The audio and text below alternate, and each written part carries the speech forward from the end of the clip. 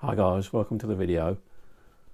So you've just built your Hotwire CNC foam cutter and it's not working or it's not working as you expected.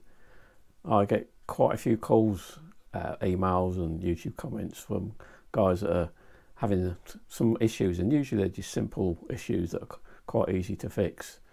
So in this video what we're going to do is cover some of the troubleshooting issues. I also get quite a lot of questions as well. Um, you know, guys that already got their machines working, but they, you know, they come up with questions. You know, uh, so like, what tension do I use on the spring, and uh, how much current do I use on the wire, them sort of things. So after I've covered the troubleshooting, what we're going to do is cover uh, some questions as well. So I hope you find it interesting. And so without further ado, let's get straight into it. So as I said, I get quite a few emails from people having problems with getting their machines working and and if you're fairly new to this, it can be a little bit overwhelming. And when it doesn't work, you know, it can be quite disappointing. So what I thought I'd do is cover some of the most common problems that uh, people contact me about and we'll just work through them and hopefully by the end of it if your machine isn't working it should should be working at the end of it or you know where to start looking and if all else fails just uh, contact me send me some details of you know your setup some pictures and uh, uh, possibly a video and I'll take a look as well. So we'll start off with probably the most common issue I get called about and that's the one of the axes is not working or all of the axes are not working. So it can be caused by a, a few different things. So let's uh, let's make a start on the first one. So the first thing to make sure is that you've got enough power for the ramps board. Um, the USB cable that goes in the side just isn't enough to power power this board with all the drivers on there. So if you're using um, motors rated about one and a half amps, so you've got four of them, so that's six amps. The ramps board itself takes about an amp, so that's seven amps. So if you if we multiply that by 12, we get 84 watts. So you're going to need a minimum of an 84 watt power supply, but pro probably more is better. Even um, these little wall adapters that you can get that sometimes provide about five amps, even even that's going to be pushing it a bit. So what you really need is is something like this, a, a proper power supply. This is actually a 24 volt one, but the 12 volt ones are identical really, apart from the outage. So and the other thing you can use as well, if you've got one laying around, and you can actually use a computer power supply. It needs a little bit of modifications to make it work, but um, quite a few people on 3D printers have used that to power a 3D printer. And basically, we've got the same setup here as a 3D printer. So uh, that's another option, you know, if you're trying to keep the costs down. So, so let's look at what can be some of the common issues. So one of the common issues with we get these drivers on here sometimes you can get a faulty one. And I think that's generally why they provide you with five. But there, there's five slots there but it's not very often that the fifth slots used. So what you can do so what I would suggest first of all if you're finding just one of the axes isn't working just get your spare driver out and just swap your driver and see if that fixes the issue. The other thing to do is where the cables uh, connect up, I haven't got a spare one to show you but where the, where the cables connect up, let's just zoom in a little bit. So what else you can do is just swap the cables around on the where the stepper motors connect up. Um, I haven't got any connected at the moment, but just swap them around and see if you can identify which axis that the fault is coming from. So that generally identifies usually a, a, faulty driver. I've had quite a few guys that have had uh, faulty drivers. So these things are only a couple of uh, dollars or a couple of pounds each. So, uh, you know, they, they're made to a price. So I suppose the chances of getting a faulty one is quite common. So swap the drivers around to start with if that doesn't fix your issue. The other thing to do is make sure that you've matched the the drivers to the stepper motors. The drivers I've got in, in this ramp board here are the, uh, the A4988s and then on the actual uh, build on the on the website and on the video part two, the electronics, I'm using using the DRV 8825. So they can handle slightly different amounts of current. So on the electronics build, you set a voltage reference. There's a little trim pot on each of the each of the drivers there, and we set that with a voltage reference. What we basically do is we set the voltage reference to match the stepper motor and, and the driver. So I'll put an example up on the screen, but say we were using So we were using an NEMA 17 rated at 1.2 amps with the DRV8825 drives. We would set the voltage reference on that to 0.6 of a volt. So it's on that driver, it's, it's half the current. But if you're using the A4988, the calculation is a little bit different as you can see. And so we would actually set that to slightly more. So I've had one or two guys said that when they've upped the current, they um, found that the motors work. So it's probably they haven't matched the actual uh, current from the driver to the motor. So that's another thing to check. And I'll put your reference up to a, uh, I think it's called Polo, Polu. I don't think I've pronounced that right, but I'll put that up for you. That's where I'll get all my information to do with drivers. It's it, they've got a real good um, section there showing all the different drivers and how to calculate the actual voltage reference. Some of the earlier um, A4988s, uh, the ref voltage reference was cal calculated slightly differently. So, so just just double check which which versions you've got of the A4988. So if you bought them a long time ago, you might have the older versions, but more recent ones, it's the, it's a calculation that I've put up on the screen that should work fine. So check your voltage references and make sure you've got enough current going to the motor to turn them. And then, as I said, just uh, try swapping the motors around. It's, it's quite rare to get a problem with a motor, but what is quite common is to, is to get the wiring uh, wrong. Um, I've had one or two guys, so when they've swapped the wires around, um, it started working. And what you need is the pairs the pairs are connected. Uh, so on the actual board itself, we've got, let me just have a look here. Yeah, we've got 1A, 1B, uh, 2A and 2B. So they relate to the pairs on the motor. And on this, let me just get a,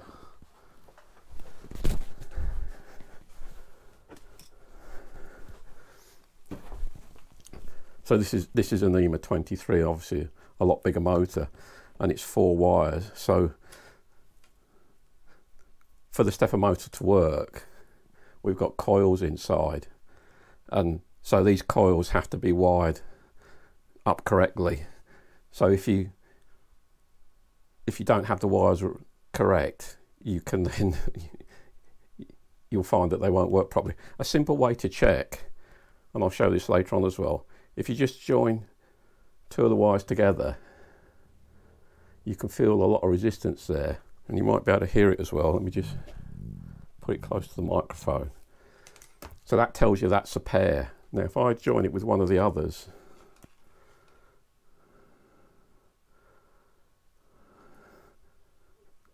there's no, it just turns very easily there and you can't feel any resistance. So if I turn that up, you, you can't hear anything there and you can feel it. So that's a simple way to, check for you've got pairs. So it might be that it possibly, and not, I've had one guy say to me that was a problem that um, the, the motor came wide incorrectly. So that's another possible cause why one axis won't work. So hopefully that should get you through any problems with axes not working. Now, if all of them are not working, it's, it's, it can be uh, related to the actual Arduino and the ramps board. So what we'll do on the next bit, we'll cover how to check them. Something else to double check as well is to make sure you've got the the actual drivers in correctly. So if you look on the driver, get this up close here, see if you can see it. It'll focus here. So if you look on the driver, there's a there's a pin there called EN for enable. It's actually labelled enable on this one, and on the ramps board, yeah, just on that, just on that pin there. So so make sure you've got the driver lined up correctly, so they line up. Um, I would imagine probably if you put them in the wrong way, it will probably blow the drivers. Um, so, so that's a good reason to have a have a spare one. So I or two guys as well who had faulty ramps boards. Um, some of them have tried a slightly different ramps board. You can get some all in one where the Arduino and the ramps board are in one. I think they're called M MKS boards, and the whole thing is built as one unit. Um, and I've had one guy, guy, try that, but he found it was faulty, um, so he went back to using this setup. Not saying there's anything anything wrong with them, but uh, he was probably just unlucky to get one that didn't didn't work properly. Um, so it's possible it might be a faulty ramps board. So that the next thing to do is to check that the actual Arduino uh, is working and you've got the code uploaded okay. So what we'll do we'll just unplug the Arduino at the moment. Because what I'm going to do is just unplug the ramps board. So the next thing to confirm really is that you've got a good Arduino board. And most of the these ones are like I've got here are actually Chinese clone so this isn't a genuine Arduino board so if you if you can then I would probably say you know do get the genuine one uh, probably the next time I buy one, I will buy a, um, a, genuine one. I've had no problems with both boards, but you know, because they're built to a price, you know, sometimes the quality of the parts isn't always the best. So what we want to do first of all is make sure that we've got the firmware uploaded correctly. So we'll plug in there. So I've had one or two guys have had problems uploading the firmware and the reason you can get that is, right, we'll bring up the Arduino.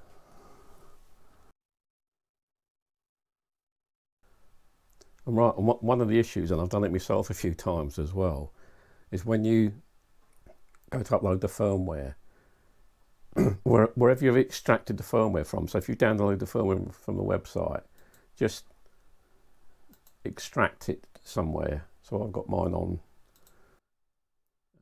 so I've extracted it there. And the thing to do is don't load this up as a library like you do on some Arduino uh, firmwares.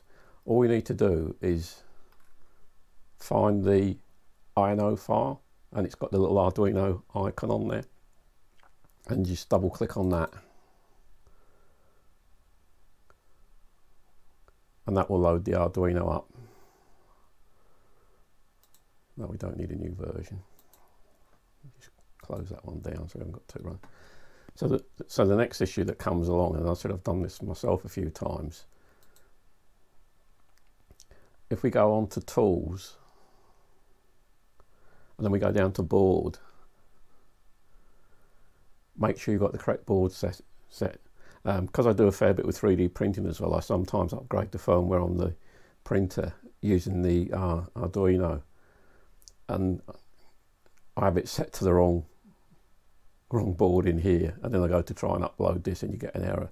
So I'll just I'll just show you the the problem you'll likely to get. I'll select, I'll select the wrong board just to show you what's going to happen.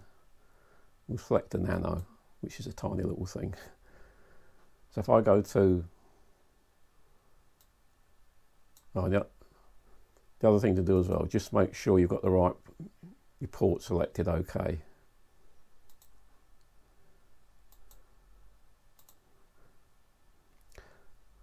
So as you can see down this little error message you've got at the bottom, port A was not declared in this scope. And what that that's that's specific to the Mega, uh, the Arduino Mega 2560. So the Nano hasn't got that. So that's that can sometimes trip you up. So just make sure you've got the right board selected. So I'll go back to the genuine Mega or Mega 2560 and on the processor we want the ATmega 2560. I think the 2560 signifies it's got a bit more memory in it. I think it's 256k memory, whereas the ATmega 1280 has probably only got 128k memory.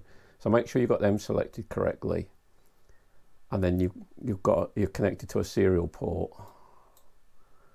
And then if we just do an upload, and while we've got the sort of amber light on the arrow there, it's it's working. So first thing it does, it compiles and then it goes and uploads.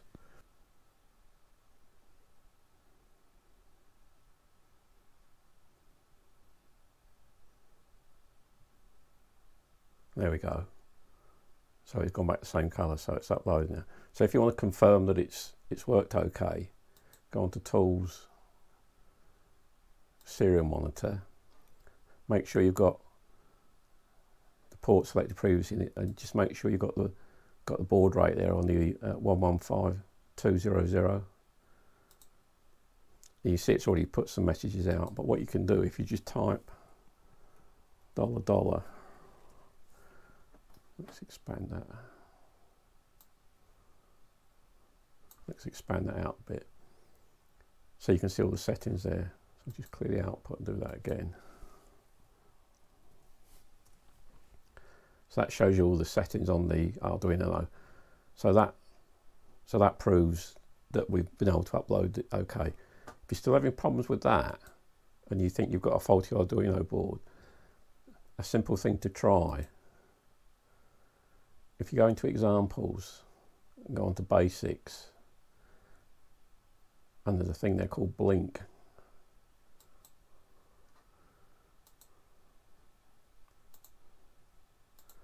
This is a simple blink sketch. And what it will do, it will make one of these LEDs blink. So that will just confirm that the actual Arduino is okay. So if we just upload that, it won't take very long to upload this one. And you can see now it's actually, so the LED there is actually blinking. So that confirms that you've got a good um, Arduino. So we'll just uh, come out of that. Another problem that you might have as well, uh, it tends mainly to be on Windows 7 and the older computers. The there was some issues with the drivers that were used on here to connect to the serial ports. So if you go into Device Manager on either Windows 10 or uh, Windows 7. Just expand that out. And if we go down to ports, we've got USB serial CH340. Sometimes it's because it hasn't got that driver and you can do a search for that driver, just download it for your version of Windows and put that in. There was also a problem with some of the earlier ones as well. You might still get the problem which was which ran a a, um, a driver uh, a chip match manufactured by a company called FTDI, I think, and there was some issues over copyright with that. So Microsoft removed or put some some something in win, Windows that would, wouldn't let it use that driver. So you, you could load up the driver, switch off, come back again, and it would disappear. Um, but they all seem to have gone to using this CH340 driver now. So if you've got like the warning triangle there where the in device manager, uh, it's probably because you haven't got the, the CH340 driver. And if you just do a search online, you'll, you'll, you'll find that pretty easy. I think Windows 10, Windows 10 um, has got that driver built in anyway.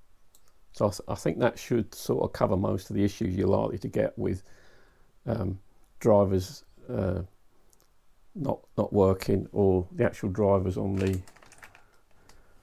Arduino board and the thing to do is just try and isolate where the problem is by swapping cables around, swapping drivers around and generally you'll, you'll get to the bottom of it. Um, if all else fails, as I said, just drop me some details, uh, either via comments on the YouTube or drop me an email and then uh, I'll take a look and see what I can come up with. So, so what we do now is we move on to another uh, couple of common issues that we, we get as well.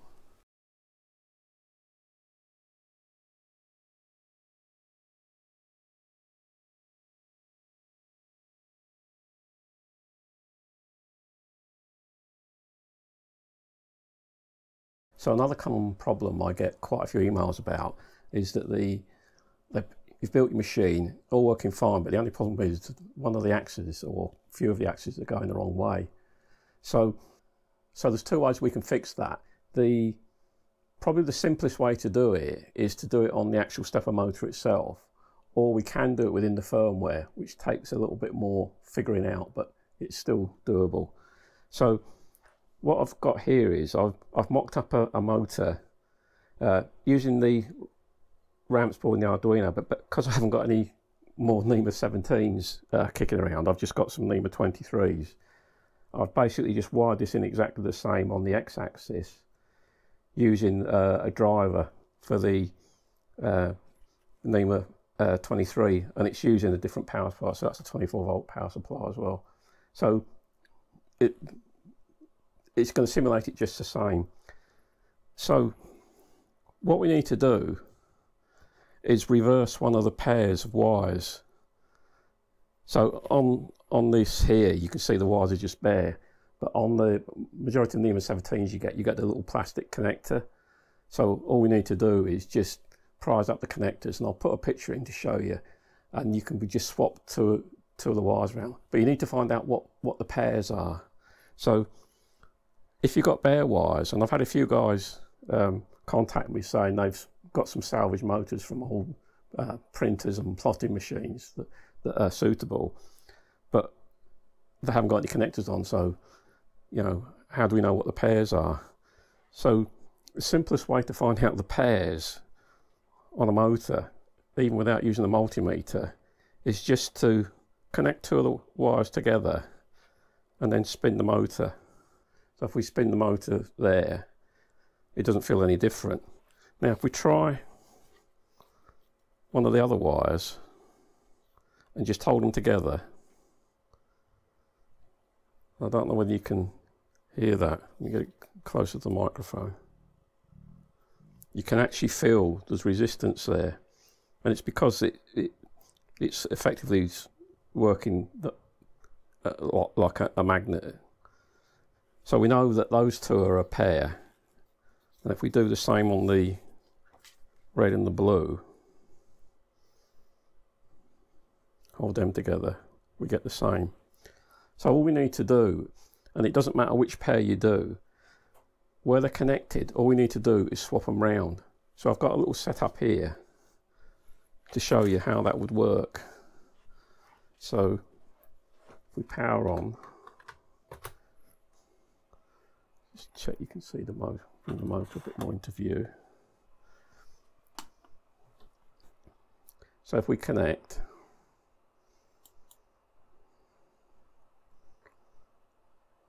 there we go there. So if I press the X positive, because I've only got the X wide in at the moment, we can see we're going anti-clockwise or counterclockwise. Right. So what I'll do is I'll just disconnect the power to the motor, let that decay out. And what I'm going to do here is on this driver there, I'm just going to swap two of the wires over. So that one wasn't in very well, that one. So if I now plug that in the right, so the black was in the outer one. So if we now go for the inner connector,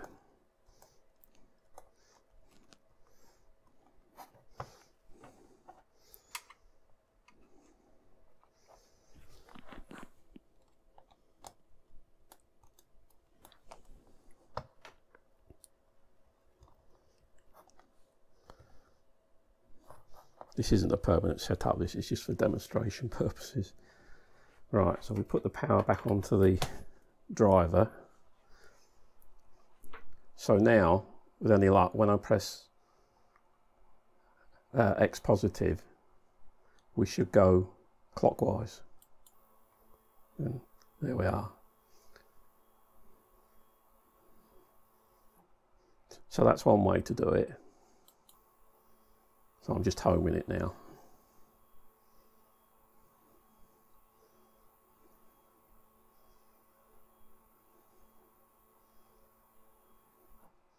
On the NEMA 17s you buy with the little connectors on, what you can normally do is just get the, uh, lift the tabs up on the wires and just pull them out and swap them over. And that's probably the simplest way, if it is going the wrong way, to fix it. The other way to do it, and we'll go back onto the laptop. If we go into settings, and on this dollar seven setting here, we can change that so if I change that to, I've already worked these out. Basically what we've got, we've got this, this binary value here and, and it works at the, the N1 there is Z and then these last bits up here, um, bits 5, 6 and 7 because this is bit 0. These are for the uh, uh, the X, Y and Z.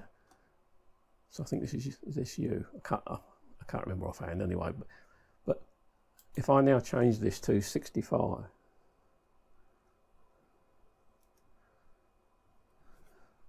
and just press enter so it's accepted, and we don't even have to restart.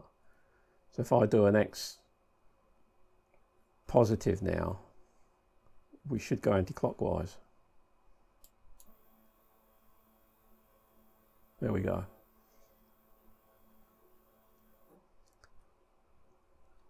And if I go back and change that back to 97 and hit enter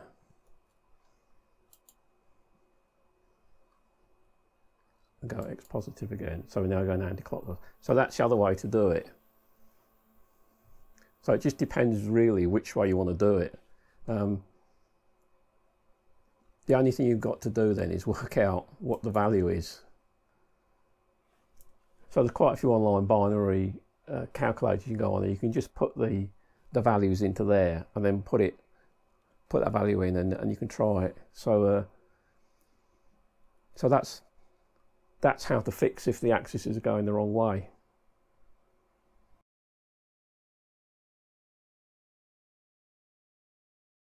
So the other way to find the pairs of the wires is to use a multimeter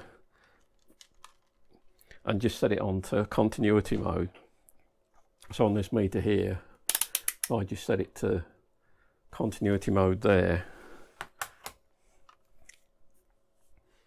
Just touch them together and we get a beep there. So we just go on the green and the red. There's nothing. So if we pull up the black.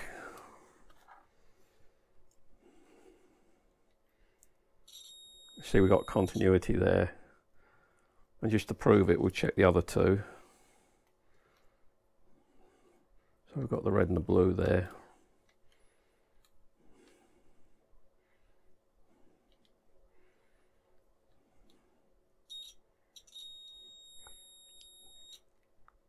So that's that's the other way you can identify the pairs there is a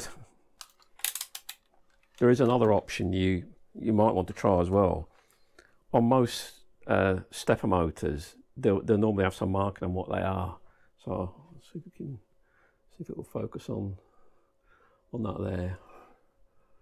There's some some markings at the top there, and if you just Google Google that number, quite often you'll get a data sheet and it will give you all the connections and quite often you'll get the color coding for the pairs as well. So th that's another method of finding the pairs. You know, if you can't um, if you can't find it any other way. So so that's that's another way of doing it. And sometimes you do get six wire motors and um, quite often you can use the six wire motors as well. I think you just all you basically do is one of the wires is a middle tap on the coils, and you just don't connect that. You just leave it. So you're just using the ends of the coils. Um, but most of the motors we use these days are four wire bipolar, um, and these are big, heavy NEMA 23. So um, good motors, but we don't need them for the foam cutter.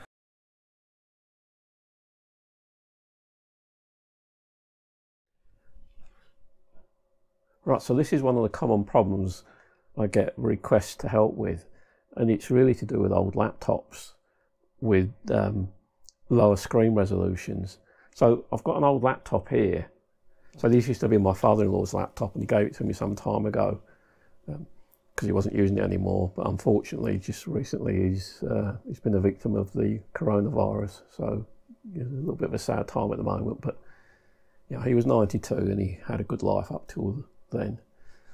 So this is a common problem we we get with older laptops, usually running um, Windows 7 as well. So I'll just show you what the problem is. Um, now this laptop I think is probably well over 10 years old, probably even a bit more. So it's to do with the controller program.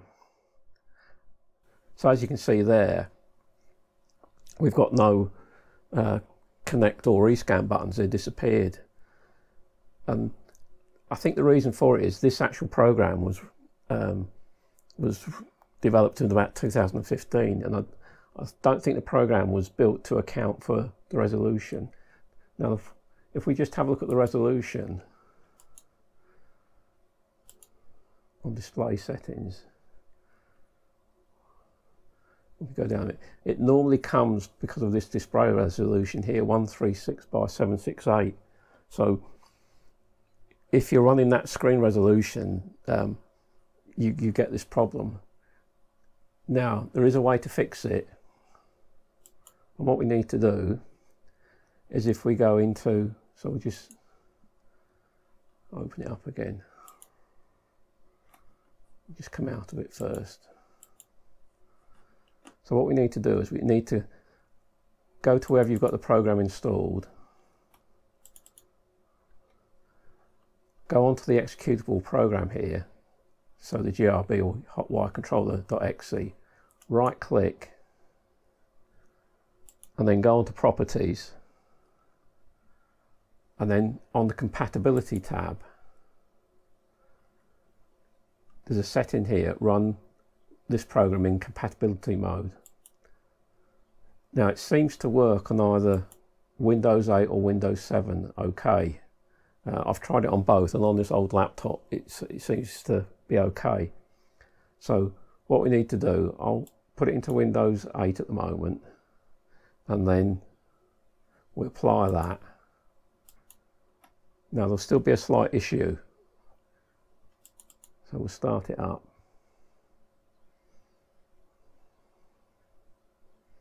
And as you can see, just in the corner there, we're just starting to get a little bit of the buttons that are missing there. So we're almost there. So let's come out of it again. And there's something else we can do to fix it. So if we set the taskbar at the bottom here to auto hide, so if we go on to right mouse properties, taskbar settings,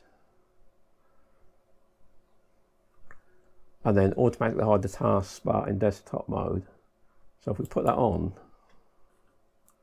and now come out of that, and if we now start the program up,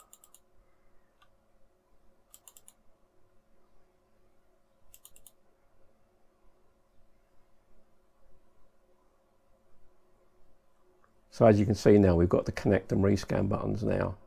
So that's one way to fix it. There is another option you can use as well. If you go into settings and if for some reason you still can't get them, if you go into settings, there's an option there called connect on load. You can tick that and then what will happen is it will automatically connect, um, which is okay, but it's I think it's much better if you can connect and disconnect through these settings here.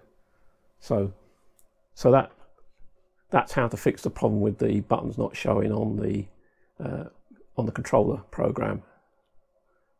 So if you've been struggling with that one, I hope that one helps you out, guys, because I do get quite a few requests about that one.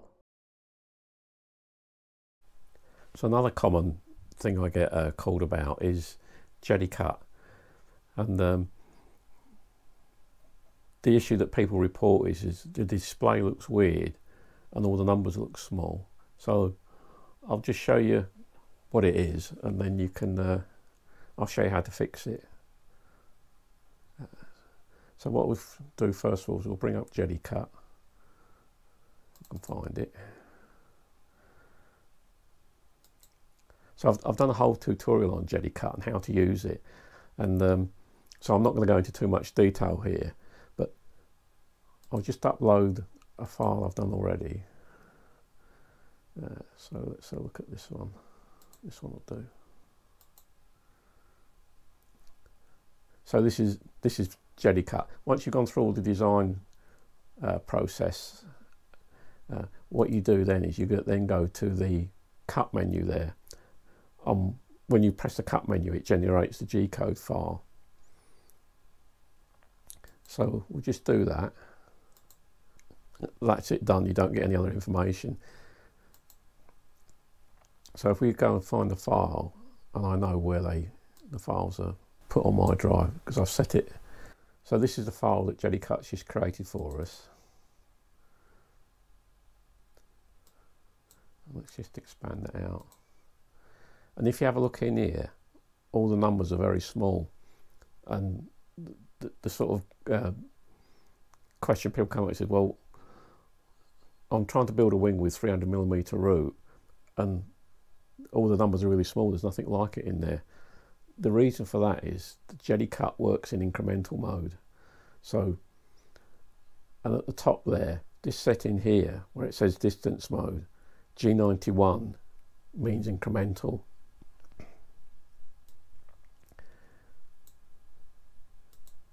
So if we load up the controller program, just expand that. Uh, if we connect to the if we connect to the controller, it's not got no motors connected, but it will still it will still work just the same. It's like a simulation there. So so we're connected there. So if we now load the file that we just created,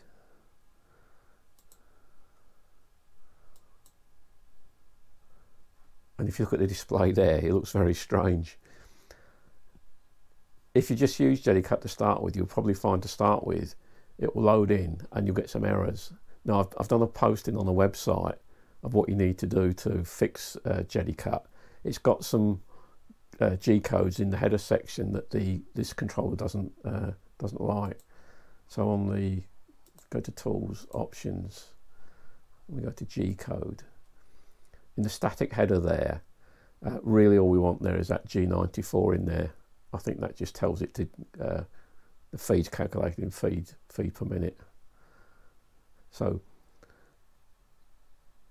if you're having problems with errors in the G code, uh, have a look on the website. I'll put a link in to where that is. But just get rid of everything there apart from G94. And then that should load in OK and run. So, so what happens is, it looks strange, but it does actually work okay. So if we start to run it, so we go to run. So it'll start running through the G code OK.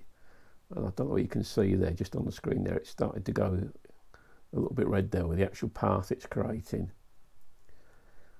Um, the actual controller program um, doesn't, in the, the display, the actual program program itself sends the codes off to the firmware and the firmware understands incremental mode so that's why it works okay. But the display here doesn't understand incremental mode so that's why we get this funny display at the beginning. And what will happen eventually it will generate uh, an for on both on both the XY and the U, UZ view.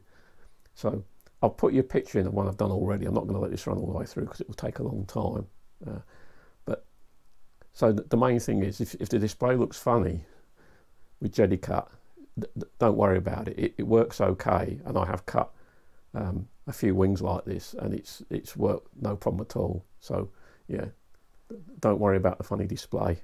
So So if you have that problem, I hope that's uh, cleared that one up for you.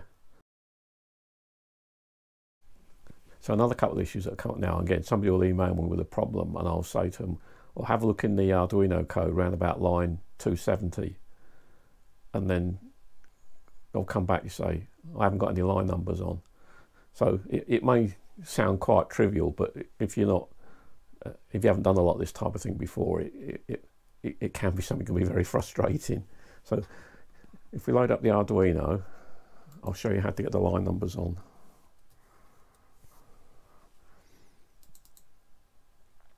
I think they're already on mine.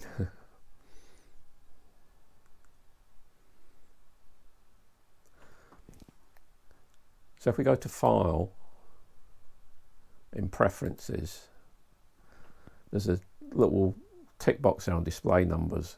So if we take that off, so we've got no line numbers there. So if I said, uh, I had a guy contact me and I think I said to him, look around about line 270, which is near the bottom there. But if you haven't got the line numbers on, it's, it's not easy. So if we just go back to preferences and stick the line number on. And then we've got our line numbers there. So there we are around about line 270. That's where most of the settings are for this this controller. So if you've been struggling with that one, I hope that one helps you out. So one question I get quite a lot, and it's probably guys that haven't built a machine yet, they wanted to get some information about how big a wing they can build. And I've had these questions from the very early days. In theory, it's there, there isn't a limit because the two towers are separated, so they're not actually joined together. Now, I've seen some people build machines where they're they're using linear rails and uh, 3D printed parts, and they look awesome, but they have a fixed um, distance, so you are a bit limited on what what you can make with that. Whereas this machine, you can move these towers as far apart as you like within reason. I'll, I'll, discuss that in a, in a minute. Um, but the other beauty of this setup as well, you can move the towers quite close together.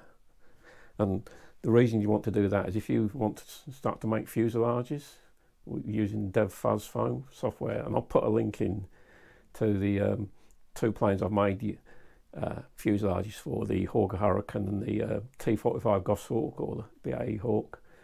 And uh, what you need then, you tend to need the towers closer together because you, there's a lot more travel on on the vertical axis. And when you've got them further apart, you haven't got much distance for the wire to move. So on my machine here, I've got a distance of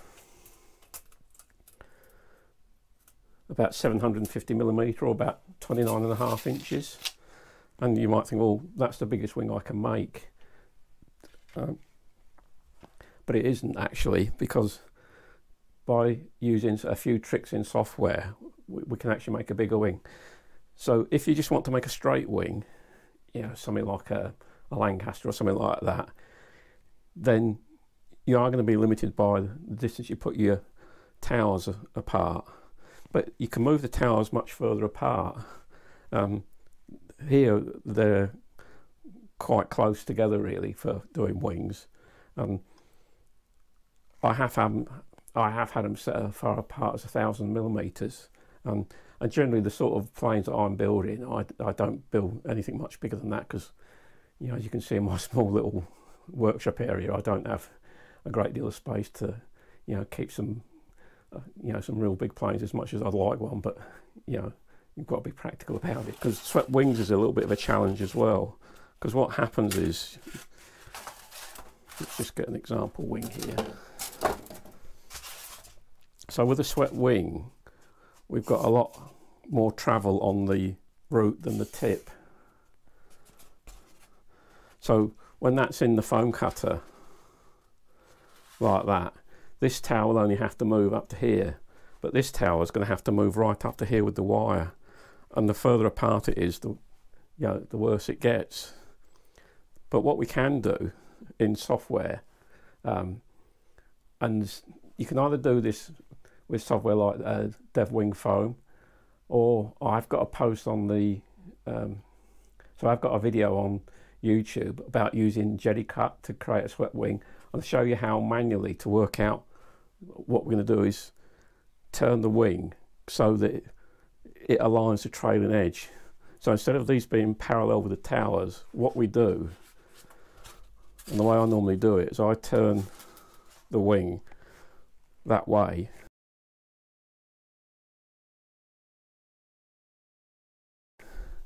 and so when it comes out so this is this is still although it's black it's the same stuff so what happens when the wing comes out.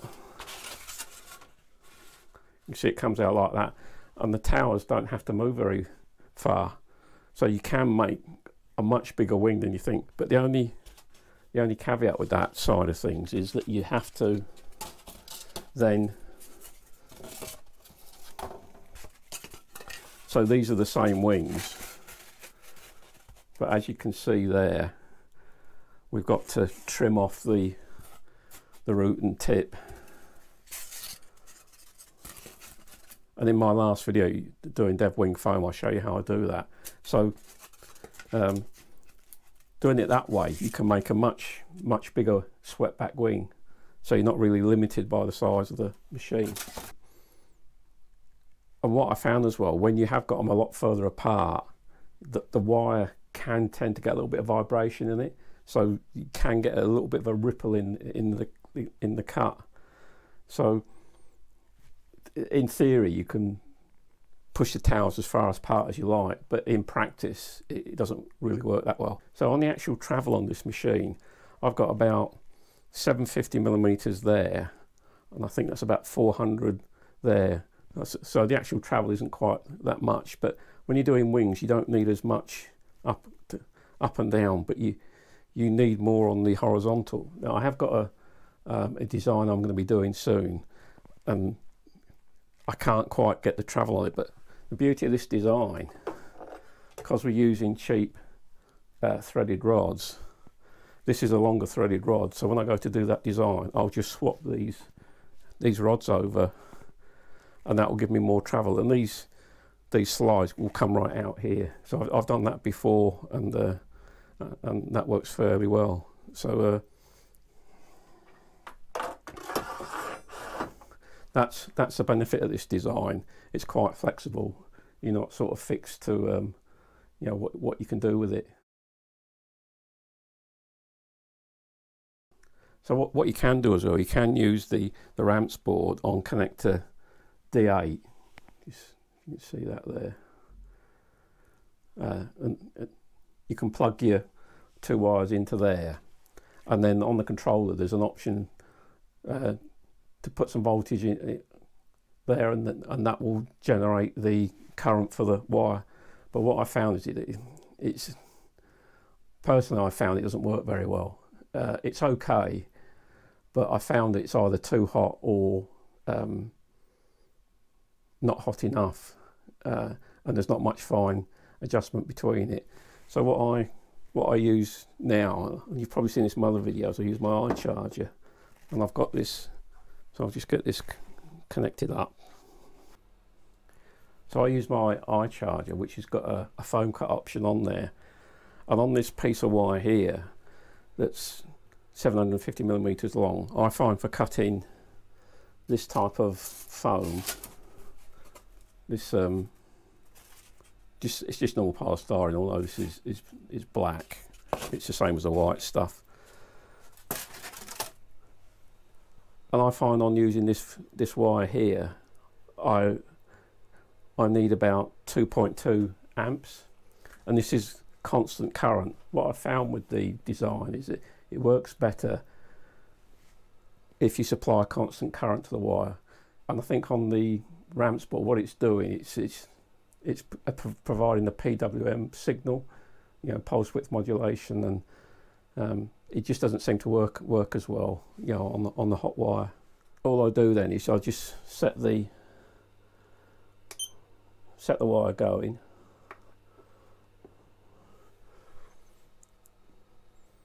And as you can see there what it's doing is the the current and the voltages are going up and then what will happen is the current will stabilise and then you'll see the voltages go up and down just to maintain a, the current. And get some scrap foam as well.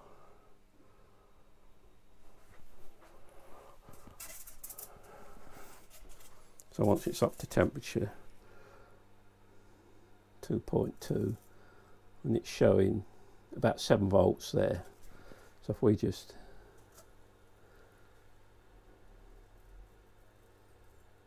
and we see the wires just dropping through through the foam now. Well, you can see the foam just dropping through the wire now. So the iCharger is quite expensive. Um, well, I bought mine. I, I think I paid around about hundred pounds for it, so it's probably about hundred and forty dollars, something like that. Um, they are good, but they're quite a lot of money.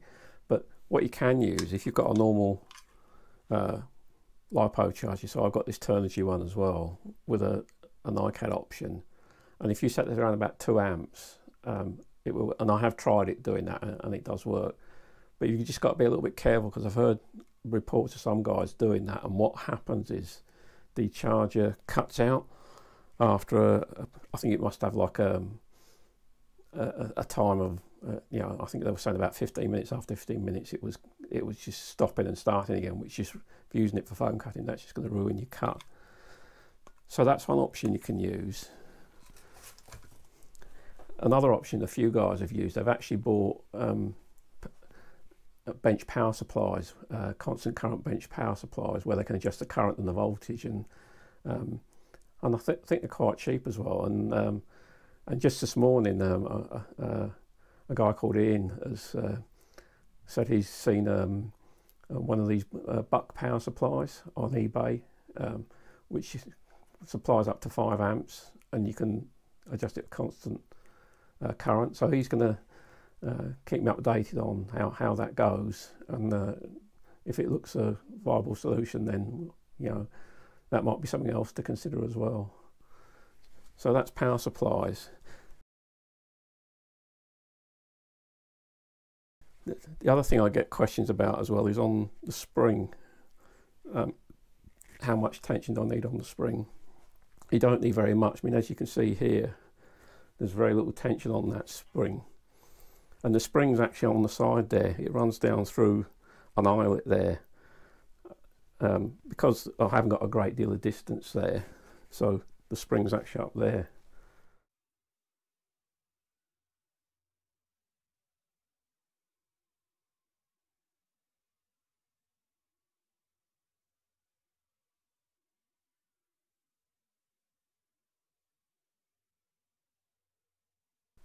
So once you've got the the current right for the type of foam you're using, then you don't need a lot of tension on the spring. Now, if you can see the spring dragging, it means you've either got it the speed too fast or you haven't got enough current.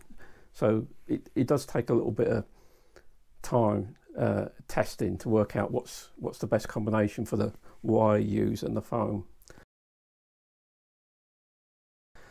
Another question I get is what type of wire do I use?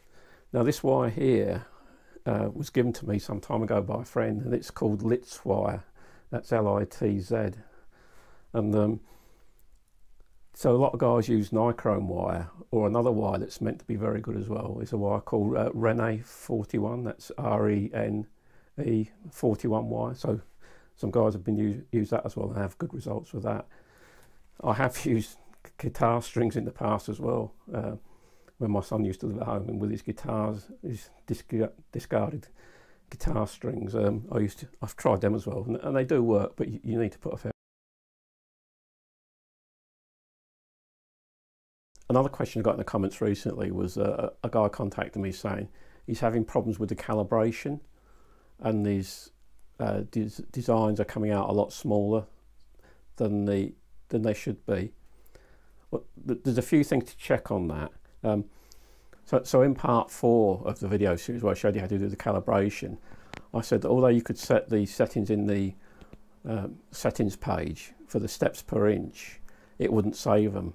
But um, a guy called Jan, and I think he was from Czechoslovakia, alerted me to um, a setting in the uh, Arduino code, and uh, by changing that, it will save the settings. So I'll just show you that now on the, on the next bit where you can do that. Connected there. We go onto the settings page, the settings there, dollars zero to dollar three, is where we can change the steps per inch. Now, when I first put this together, you could change the settings here and it would accept the changes. But soon as, soon as you uh, shut the program down and restarted the Arduino, it lost them. And uh, and what what I said to people then is, well, once you've worked out your settings, go into the Arduino and put them in. But there is another another way to do this. So what we need to do, if we go into the Arduino, and it's in config H, and if we just go down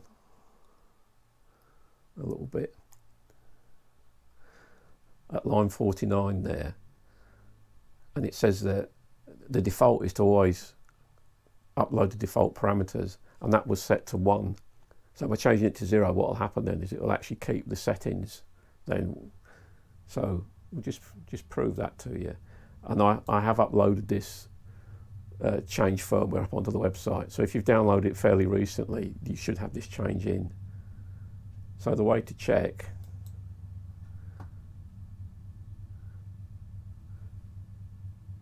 Like we've got a motorbike running somewhere. We'll have to have a look at that. so if we change this to say a thousand and the other thing to do is you can see there's a little mark in there. Make sure you hit enter. And it keeps it then. So if we now uh, come back and disconnect the Arduino. I'll close the program down. I'll even unplug the Arduino. Plug it back in.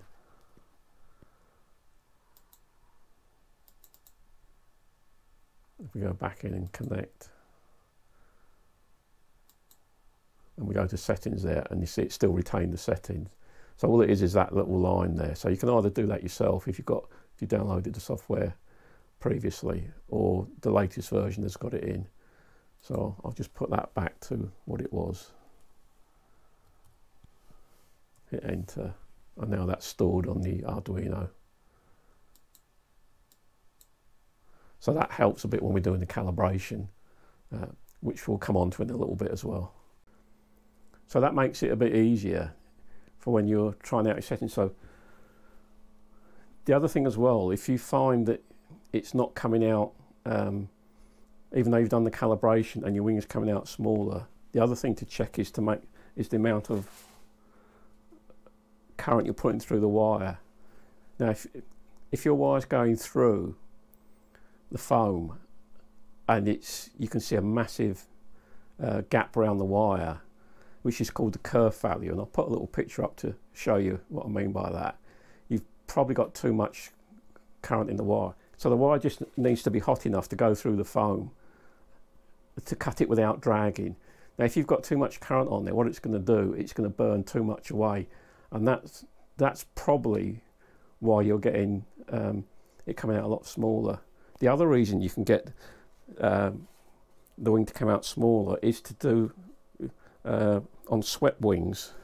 So let me just get one of these wings off as well. So if you're doing a swept wing,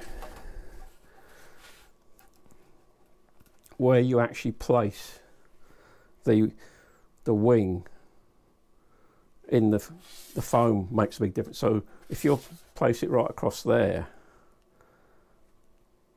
it's not going to come out the right size, and if you place it right across there, it's not going to come out the right size. So within the, the foam cutting software, it will normally tell you where to place it. And uh, I'll put a picture up on on uh, DevWing Foam where you where you're doing swept wings, and it gives you the details of where to put the wing. So if you're doing it too far that way or too far that way, you can imagine as it's coming out like a triangle there, you, you're going to be getting a different portion of the triangle. So if you're doing a straight wing and it's coming out far too small, the reason for that is probably to do with the amount of current you're putting through the wire, you may be putting too much in there and melting too much away. And what you'll find as well is if you do put too much current through there on the wing itself, and you can see it on this wing as well. This is when I was just um, testing the foam out. You can you can see that the wire's actually been too hot, and it's actually you can see on the edge there it's melted a bit away there, and it feels a lot rougher. Whereas on on this wing wing here, it feels smoother. So what it tends to do is it almost almost like sort of crystallizes the foam, and it feels quite hard then. So that's another reason not to use too much too much current. You'll get a lot better finish on your wing. So I hope that's covered the uh, calibration issues and if things are not coming out the size you, you expected. One question I get quite a lot as well is um, guys will say to me, will these stepper motors be okay? And they'll send me some details of the stepper motors. And as long as you can send me some details, I can tell you whether it's going to be okay with this this design. The main thing to look for is the amount of current that the the motor is going to take. And as you can see here, I've got some bigger motors laid out. Um, so one of the questions I get is, can I use NEMA 23s? And generally you can't because the NEMA 23s generally run on a lot more current than the the ramps board with these little drivers can handle. So if you look at this, this is a driver for a NEMA 23 uh, stepper motor.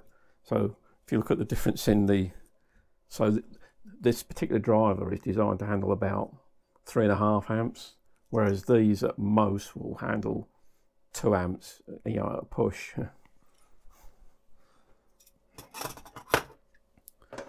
so if you do want to use NEMA 23s, and the only reason I would say to use them is if you've already got them, um, because the price of these little NEMA 17s now, um, and with a ramp spool and that, you know, it's uh, it, it doesn't make economic sense to uh, go and buy these NEMA 23s.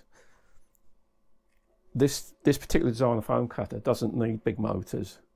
Uh, it works absolutely fine on these, and the, they're more powerful than you think. Um, I've actually ruined some of these couplers here before I got limit switches on, and uh, and it drove itself against these the stops, and uh, it just pulled the thing apart. And you know, be surprised how much power these little little motors have got in them. So don't think you need big motors to make it work faster or or better. The only reason I would say to use NEMA 23s, if you've already got a bunch of them kicking around and you've got some of these drivers already, uh, and you can connect them up to the um, ramps board. And in fact, you don't even need to connect them up to the ramps board. You can connect them directly to the Arduino. Um, so all you need to do is uh, find the relevant pin outs and uh, and just just plug them into there because all the connections on the Arduino uh, with the control software on there, all the pins are defined. So yeah, it would be a little bit of wiring with all this. Uh, and as you can see there, I've done I've done one there. So I've wired that up and I had that connected up. Uh, as you'll see in another part of the video where we do uh, checking the directions and the and I had that plugged into the um, into the actual ramps board without the, the driver on and, and it worked absolutely fine. So you can't plug NEMA 23s directly into the ramps board, but if you use one of these drivers, and the NEMA 23s and these drivers are designed to work on 24 volts, well, actually they can actually go to 36 volts as well. So you need a different power supply. And if you want to, instead of using the control software that we've got here, um, you can use uh, Mach 3 or Linux CNC and just connect these up with the old parallel port. But you will need a computer uh, with a parallel port. Now for Mach, for Mach 3 you can use USB.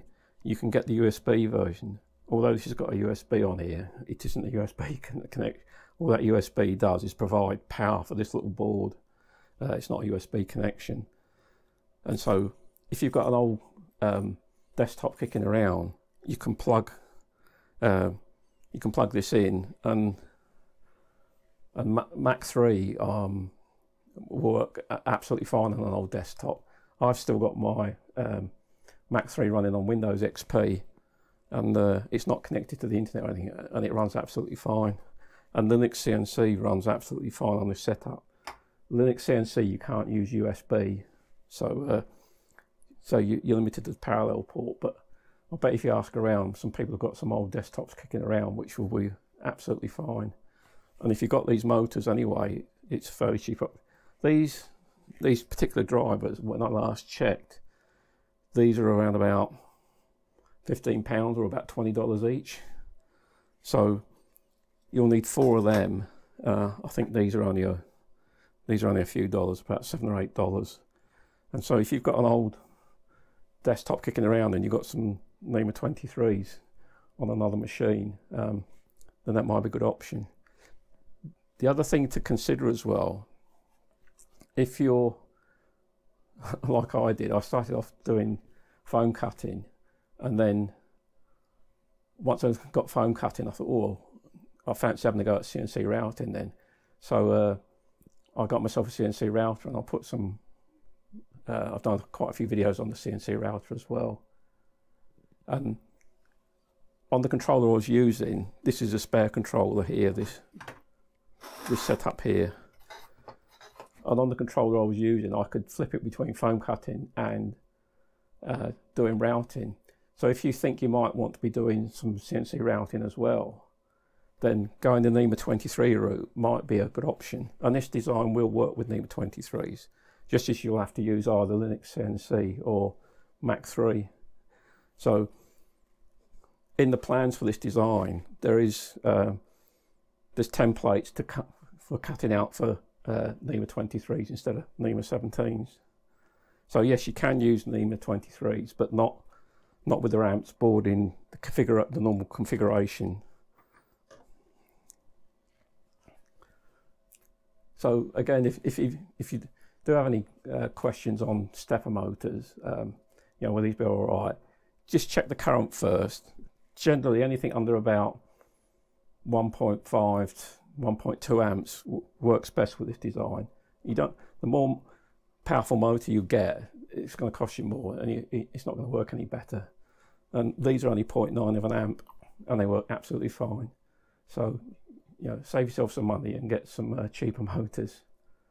But if you do have any questions on stepper motors, I've got a link on the website where I'll answer a load of questions, and I'll put that in. And then if you're still not sure, just drop me an email or comment, and I'll do my best to answer them.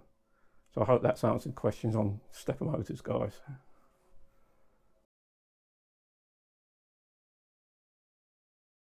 Another common question I get is what type of foam do I use? And basically I've only used two types of foam. Um, the foam I generally use most of the time now is just the, the plain old white foam or in this case black foam. Um, normal polystyrene that you can get at most DIY stores. Um, it's extremely light and you know if you're building wings so these are some spare wings for, for this one. So uh, once you put some carbon rod in so this has got some carbon rod in and uh, it's been covered in my favourite co covering method brown paper. Um, it's incredibly strong. You know you can I mean you, you could break it but it you know it takes some doing. So uh, and it's it's light as well. So uh, I tend to use just white foam now, or black foam in this case, depending on what colour you can get. But I have used in the past as well, I have used um, this pink foam, XPS foam.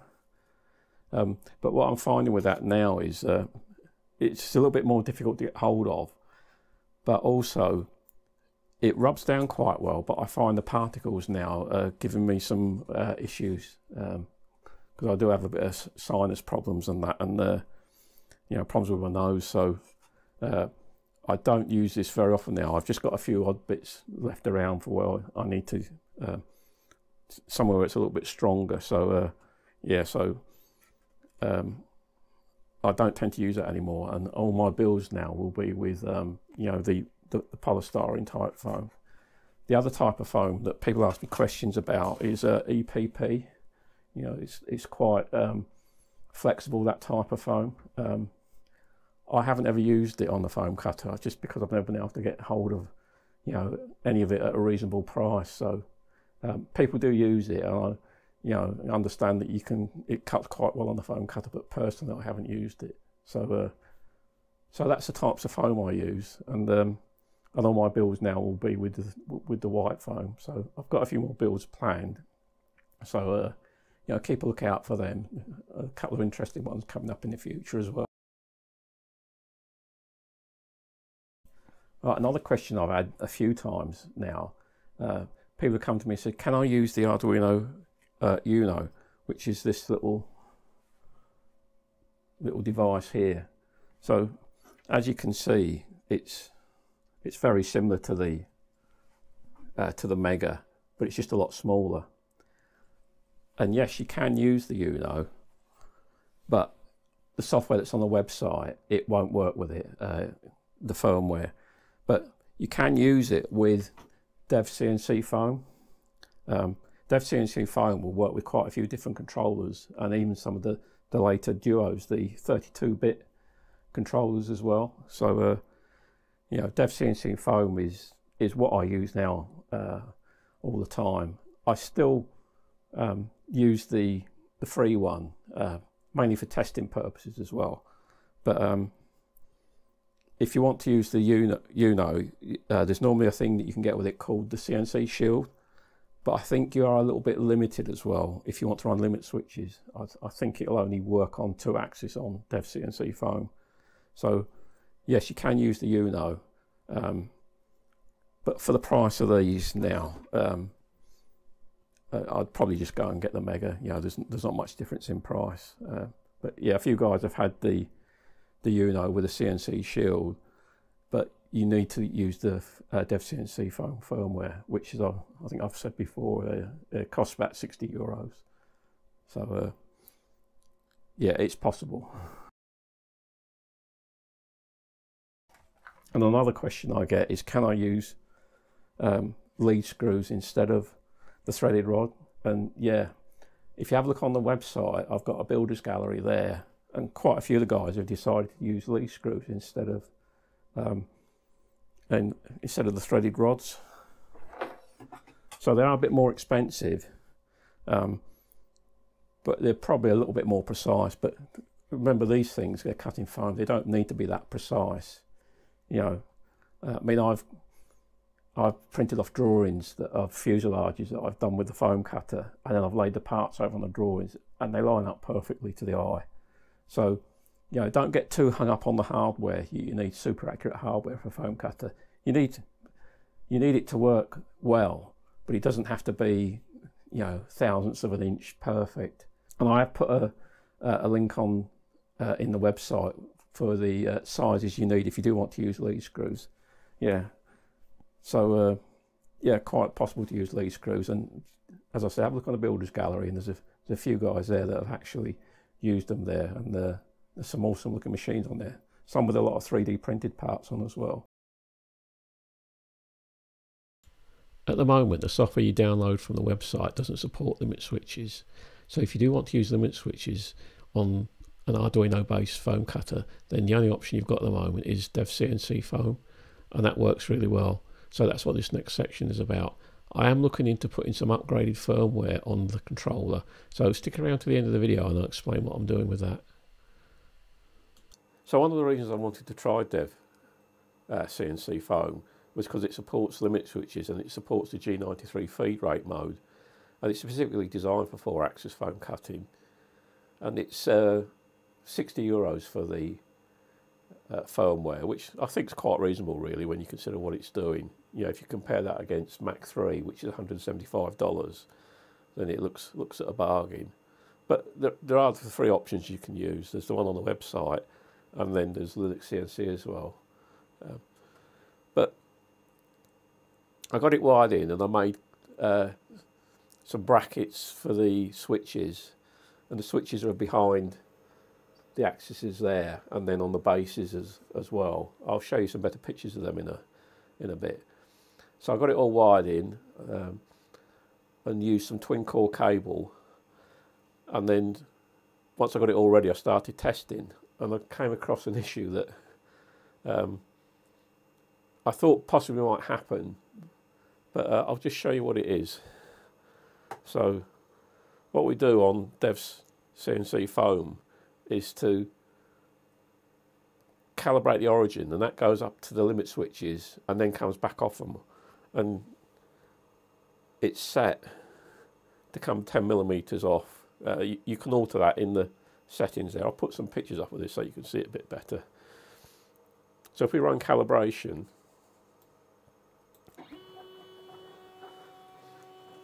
everything starts off okay. So the two axes are working fine, horizontal axes. And it does it twice. And you can see what's happening now is on the vertical axis, they seem to be a bit out of sync.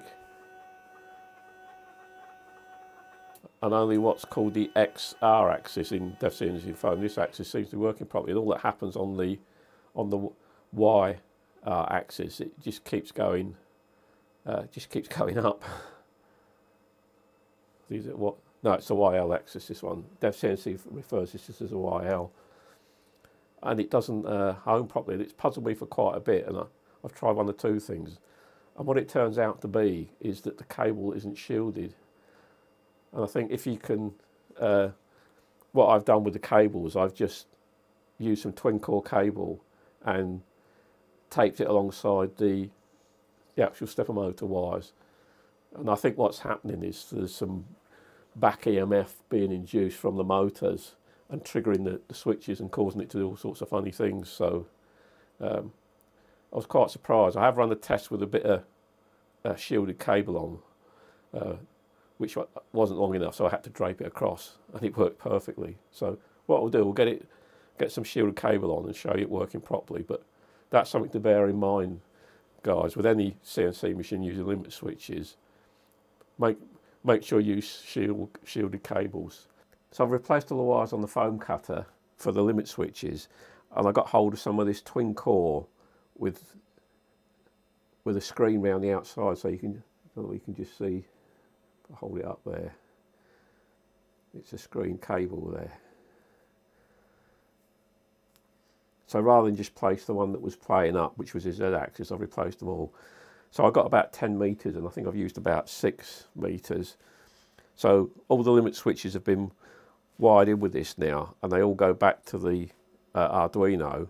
And what I've done is I've grounded the screen end on the uh, ground of the Arduino. And, and on some, and all the tests I've run, it's worked okay. So to get the limit switches on, there we go. So they fit on there. And all I've done is put a little bit of hot glue just to hold them on there so they can come off easy enough. And then I've wired them. They've all been wired up in normally connected. So what happens if there's a break anywhere, it will just stop. You can do them normally open, but it's generally not recommended as a, as a good option uh, to do that.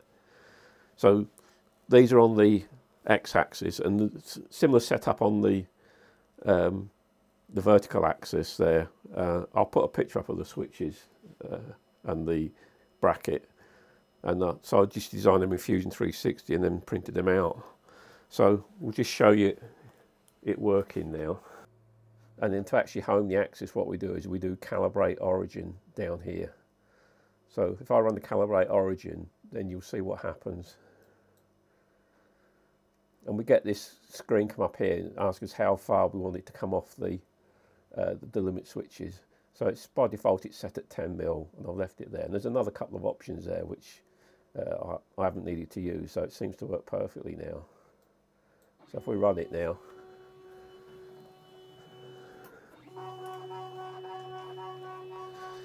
So it does it twice on each axis.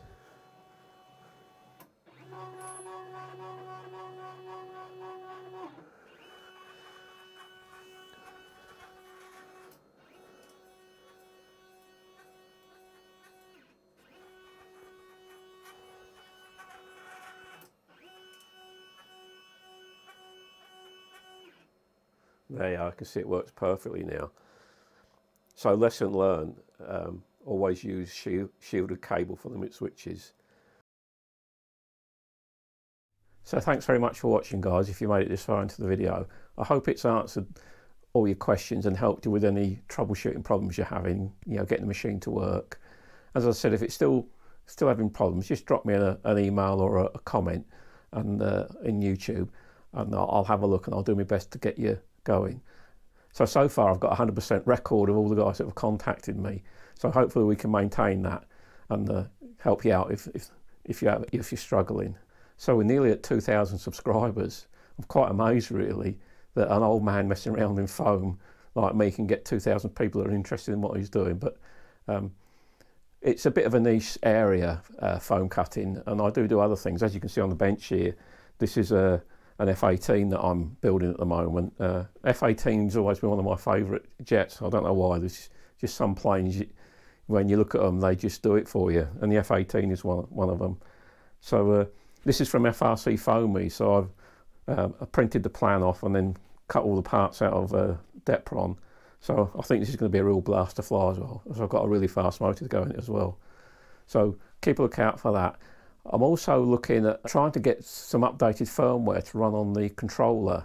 Uh, the, it's running on quite old uh, GRBL firmware. Uh, it's version 8 and it's up to version 1.1 now. So I'm looking into that because there's a few limitations with the firmware. Uh, it doesn't support G93 and you, you can't use limit switches on there. So uh, I've got the source code for the um, controller program. The firmware isn't the problem, it's the controller program displaying the, uh, the results from the uh, controller.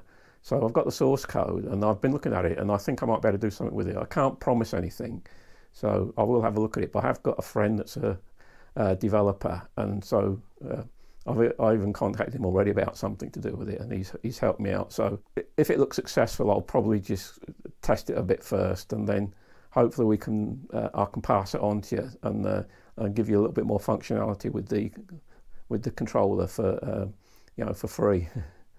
so once again, thanks for watching, guys, and I'll catch you in the next one.